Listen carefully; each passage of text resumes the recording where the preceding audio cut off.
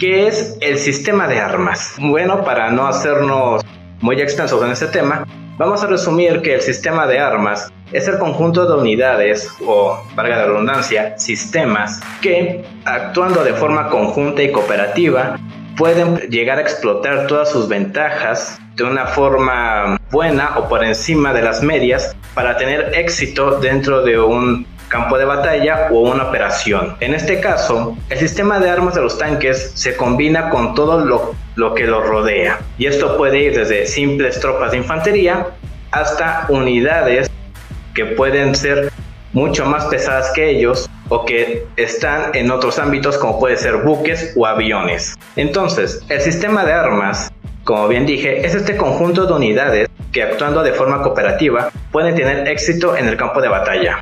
Evidentemente los rusos tienen su propio sistema de armas, pero los de Occidente actúan de forma diferente, porque recordemos, todo obedece a doctrinas, filosofías y conceptos que ellos mismos forjan para tener éxito en una operación. Para abordar el tema del sistema de armas occidental, tenemos que tener en cuenta que Occidente aborda este tema como la acción conjunta de todos los parámetros militares, que van desde los soldados hasta la artillería, pasando por la aviación, pasando por el apoyo que pueden otorgar incluso buques.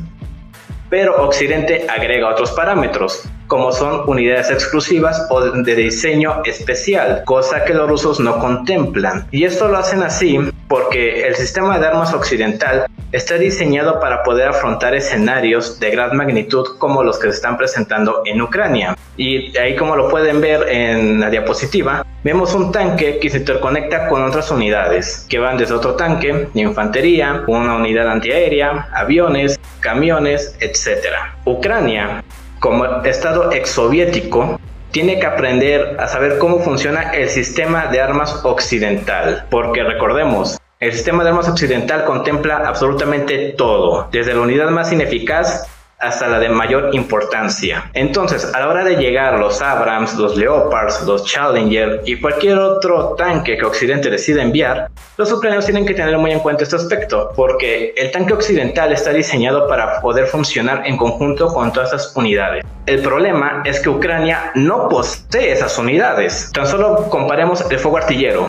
Según Zelensky, los rusos lo superan de 9 a 1. El poderío aéreo no ha sido establecido por ninguna de las dos partes. En algunas ocasiones operan, en otras no. A veces hay campañas de bombardeo, eh, a veces hay pequeñas intercepciones, pero realmente ninguno tiene la supremacía aérea. Y quiere decir de la logística, pero ese ya será un tema que más adelante abordaremos. Así que entonces, si lo vemos desde ese punto de vista, Ucrania no es capaz de establecer un sistema de armas eficaz para los tanques occidentales, porque reitero, el sistema de armas occidental contempla todo y Ucrania no puede darlo no puede establecerlo, porque el tanque occidental te exige, ya no te pide, ya no te sugiere, te exige la presencia de todas esas unidades adicionales o de apoyo para poder ser funcional. Y Ucrania solo puede dar uno de ellos, que son las tropas, porque fuera de ello, la artillería es prácticamente escasa, no hay poderío aéreo,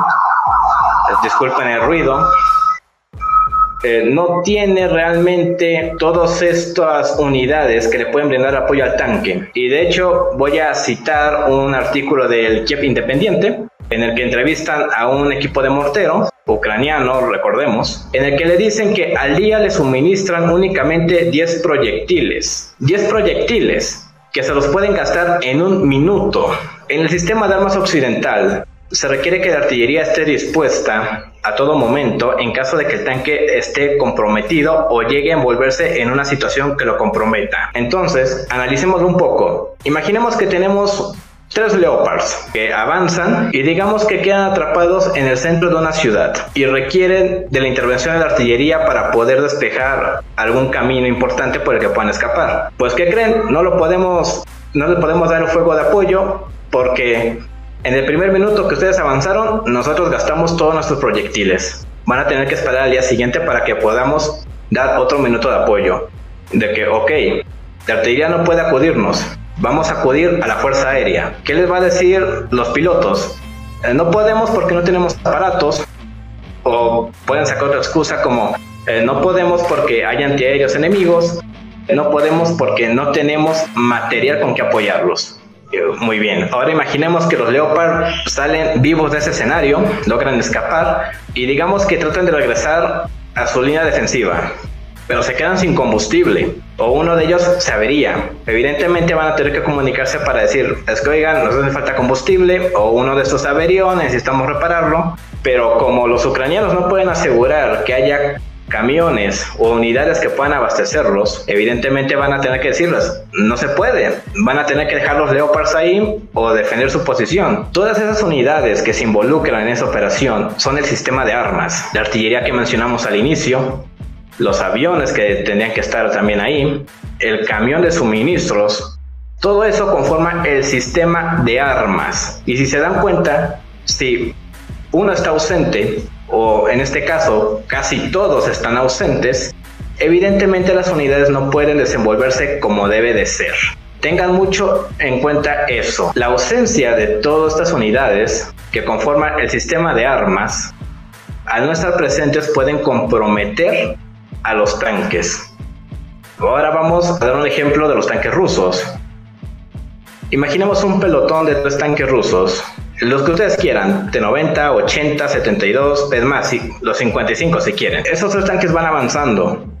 Y lo mismo, se adentran en un escenario en el que tienen que desenvolverse en una situación muy crítica, en la que pueden quedar atrapados, cualquier situación.